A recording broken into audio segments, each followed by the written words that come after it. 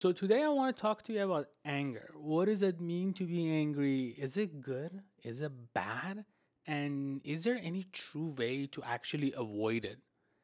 A lot of time we get into situations that we just feel emotionally overwhelmed and the best way that we can respond is to just blast, is to just explode. But the thing is that anger is not necessarily a bad thing. The problem is that we feel, we believe that anger is an entity, anger is its own thing, when in reality, anger is something that we become. We get angry. Anger doesn't exist in this hypothetical place that we say, okay, I'm going to reach that point. No, we get there because of the circumstances. Otherwise, anger doesn't exist. Anger is simply an emotion. And emotions are part of us. It's not bad, it's not good, it's its own thing. But it's not this devil that we make it to be. And the problem is that sometimes our anger takes over us and just becomes a whole new person and it creates someone that doesn't really exist. I don't know if you can relate or not, but sometimes people get so angry that they become someone completely different. Their emotion, their actions, their reaction, their responses, the way they do things or the way they seek things, it just completely and utterly changes who they are. Now, every one of us can relate to this to a certain extent. But after a while, this can become problematic. And you're here for a reason, and the reason is that, okay, how do I deal with my anger? And the quickest answer is to just not be angry. But that's not possible. And sometimes they say when you're angry, the best thing that you can do is to just take a couple of deep breaths, to just focus on yourself, which is good in some aspect of it. But I'm sure you could relate to this. I mean, I know that I can relate to this. When I get angry, I don't want to take deep breath.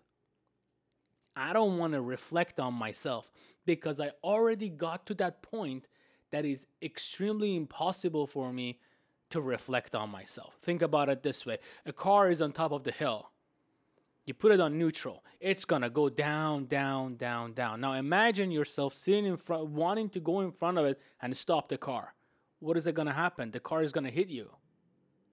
Yeah, you can slow the car down, but you still get hit and that hit can be can have some drastic effect on you if you do something to get rid of that anger it's just to drastically impact you so the question comes okay then how do i deal with my anger and i'm going to give you a simple analogy that you could apply it to yourself now for this analogy i hope that you as the viewer are not in this category. Not that it's bad or it's good, it's just an example that I want to say.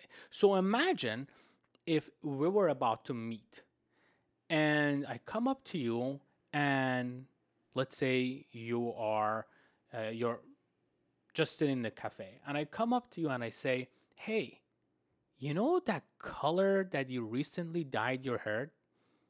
The blue one that it's showing right now and I hope that you haven't dyed your hair blue." or if you have maybe that pink color that you dyed your hair, looks absolutely ridiculous, especially when you're wearing that purple dress that you are wearing right now with pink, orange, and sparkling flowers all over it. Now, if you fall in this category, you could just change it to something else. But what would you say to me? What would your response be? Will you get angry? Will you get upset? Will you get offended? Would you react in any way? No. You're simply gonna look at me as like, what is wrong with you? My hair is now blue. I'm not wearing that shirt. My hair is black, or my hair is brown, or my hair is pink, whatever. I haven't recently dyed my hair blue, or I'm not wearing that t shirt that you're explaining to me. You're gonna look at me like I'm crazy. Another example is that imagine right now the time is 4:30 where I am. And if I come up to you at 4:30 in the afternoon and I tell you, "Hey, do you know what? The time is actually 4:30 in the morning." Will you believe me? No. There is absolutely no way that you will believe me because you have your watch, you have your phone, you look at the weather outside, it's sunny, and you're going to tell me, no, you're wrong. This is the principle that we have to apply to ourselves. The problem is not anger. The problem is that we are unsure of ourselves, we are unsure of our situation, and we don't give ourselves time and attention that we deserve. Now, give me a second and I'll explain this to you. The goal of not being angry or not being frustrated or not being extremely on that extreme level is to give ourselves the confidence to believe what we're trying to believe 100%. It's to be there for ourselves is to remind ourselves that whatever we do, we do it for ourselves. That I believe in myself, I know myself. I know myself so well that it doesn't matter what you say or what you do, it is not going to change my mind. And if you say something beside what I think of myself, I'm going to look at you with pity. I'm going to look at you and laugh at you and say, No, you are wrong. This is not who I am. Let's say you're in school, somebody comes up to you and says, Hey, you're doing horrible. I feel so bad for you. No, you shouldn't get mad or angry. You should just look at him with pity. Remind yourself of your true nature, of who you actually are, of your own feeling. The problem is that we're not connected to ourselves fully enough to understand our emotion, to understand our feelings. And where we're not connected fully to ourselves, we can get misleaded by other people's thoughts, actions, or behavior. And those thoughts, actions, and behavior can drastically affect us. Not in a good way, usually. So, what do we do? We remind ourselves of ourselves. We remind ourselves of the things that we're doing. We remind ourselves of our goals, our achievements, of the things that we believe, the things that you actually are, not the things that other people want you to be. You are who you are. That's what makes you unique. Every single one of us is different. And every one of us has a different perception, understanding, and way of looking at life. There is absolutely no way that we could be up to everyone's standards. It doesn't matter how good we are. But there is one person that matters the most that we need to be on their side, and that's ourselves.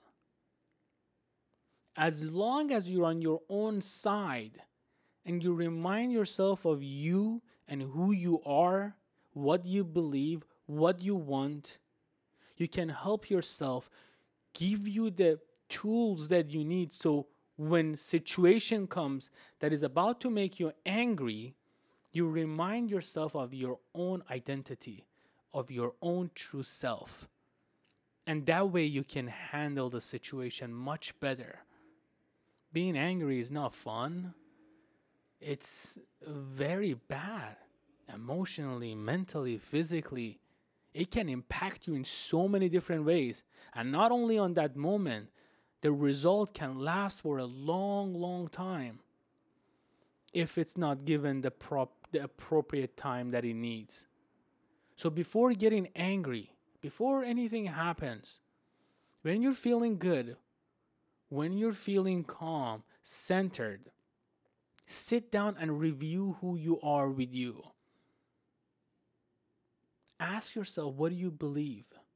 What do you want? What do you seek? So if situation comes up, you're more prepared. You can more easily acknowledge who you are and who you want to be rather than constantly trying to fight this battle of getting to this point that doesn't exist and it's usually a circle. It goes around and around and around and around. That's not fun. What's fun is what you set for yourself. So ask yourself, what do you want to set for you? Where do you want to be? How do you want to be? Who do you want to be? Do you get angry? Okay, that's okay. What do you get angry about? Not when you're angry, before it. What is your triggers? Identify those triggers and then tell yourself about those triggers. So, for example, I usually get angry when I'm driving. Okay, that's a trigger. Ask yourself, how do you feel about this? How do you feel about yourself? How do you feel about your driving? How do you feel about other people driving? How do you feel about other people's acting in different situations? Then you have a better self understanding of not only yourself, but other people and other situation. So you're looking at it with more of an acceptance. You're looking at it with more of an empathy instead of an anger, instead of a rage.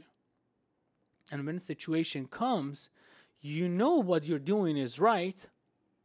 You know your triggers. You have empathy towards yourself and towards others sometimes, so you're more aware of it. And the last part comes from reflection. So, next time that you get angry and those things didn't work, sit down and ask yourself what made me angry? What was it in this situation that was different? What was it in this situation that impacted me so much that I felt out of balance? And then you go through those steps again. So, what do I believe about myself in those circumstances? Okay. What do I believe about the situation with those circumstances? Okay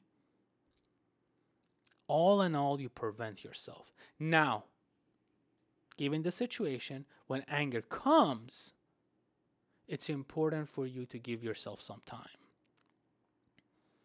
Even though it's very hard, and I'm not going to sugarcoat it, this is extremely difficult.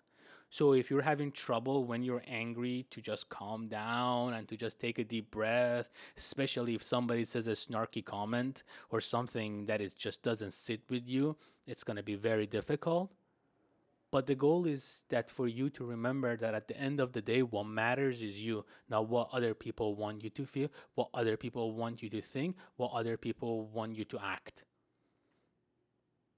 As long as you remember you are the center of your own universe and you are the creator of your own reality and you make who you are, that will help you better kind of manage the situation, kind of go through the situation and give yourself the support and the compassion and the empathy that you deserve in any situation. Again, it's not it's not easy.